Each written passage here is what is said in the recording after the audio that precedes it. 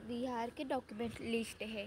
और ये आपको, अगर बिहार के किसी भी कॉलेज में अगर आप एडमिशन ले रहे हैं तो आपके पास ये सारे documents at a time counselling centre पे होने चाहिए। अगर आपके पास इसमें से कोई कोई भी एक डॉक्यूमेंट्स नहीं है तो प्लीज़ बनवा लीजिए। और प्लीज़ इसका स्क्रीनशॉट भी ले लीजिए, क्योंकि ये इसमें से कोई डॉक्यूमेंट ऐसे है जो एक दो दिन में नहीं बन पाते। इसलिए आपको ये अभी से ही रेडी रखनी होगी। काउंसलिंग के वक्त आपको ये सारे डॉक्यूमेंट्स ऑनलाइन, अगर ऑनलाइन फॉर्म फिलअप करना है तो ऑनलाइन सबमिट करने होंगे।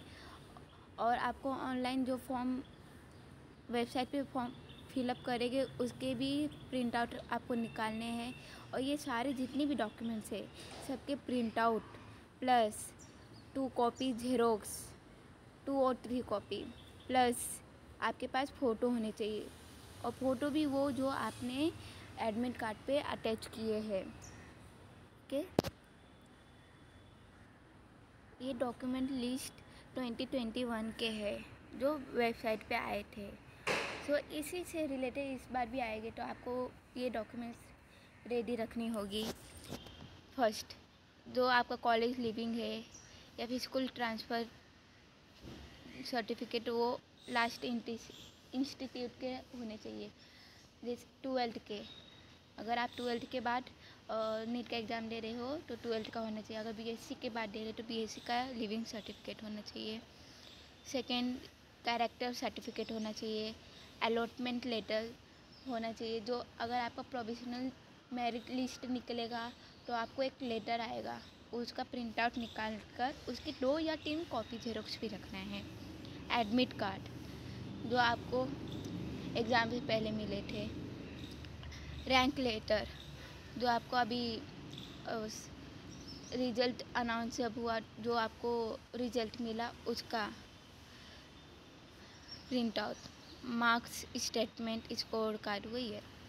Tenth admit card marksheet and pass certificate okay tenth admit card admit card मतलब हॉल टिकट जो आपको इश्यू होते हैं एग्ज़ाम से पहले। मार्कशीट और पास सर्टिफिकेट भी होना चाहिए।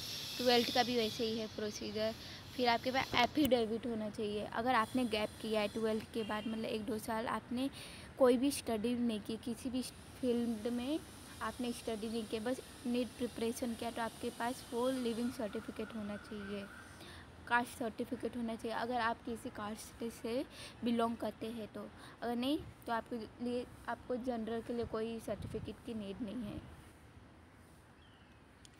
टेंथ एडमिट कार्ड मार्कशीट हाँ पीछे बताया था ना। अभी इलेवन नंबर पे ई डब्ल्यू एस सर्टिफिकेट होना चाहिए ई डब्ल्यू एस अगर आप ई डब्ल्यू एस कैटेगरी से बिलोंग करते हैं तो रेसिडेंशियल सर्टिफिकेट होना चाहिए, जो कि डोमिसाइल बोल सकते हैं।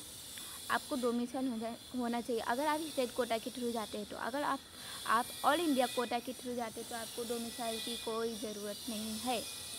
इतना याद रखिएगा कि अगर आपको स्टेट को मतलब अपने ही स्टेट में कॉलेज चाहिए, वो भी स्टेट कोटा के थ्रू जा रहे। तो आपको डोमिसाइल होना ज़रूरी है। Aadhaar card copy migration certificate अगर आप माइग्रेट हुए मतलब आपने टेंथ यूपी से किया और अभी ट्वेल्थ आप बिहार में करें तो उसका माइग्रेशन सर्टिफिकेट होना चाहिए। पासपोर्ट साइज़ फ़ोटोग्राफ फ़ोटोग्राफ वो होना चाहिए जब जो आपने एडमिट कार्ड पे या फिर नीट एप्लीकेशन फॉर्म फिलअप करते वक्त अटैच किया था, वो फ़ोटो होनी चाहिए।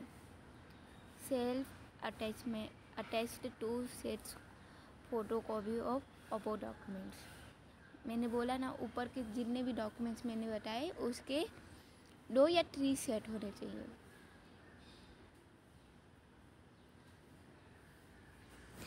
और अगर आपका मेरिट लिस्ट में नाम आता है और आपको कोई भी कॉलेज अलॉट होते हैं तो उस सेंटर पे जाते वक्त आपके साथ एक गार्जियन होना चाहिए, जिसमें आपके मदर फादर या फिर ब्रदर भी हो सकते हैं, लेकिन आपसे बड़े हो ओके अगर आपकी ये इन्फॉर्मेशन पसंद आई हो तो प्लीज़ मेरे चैनल को सब्सक्राइब शेयर एंड लाइक कीजिए और बस थैंक यू फॉर वॉचिंग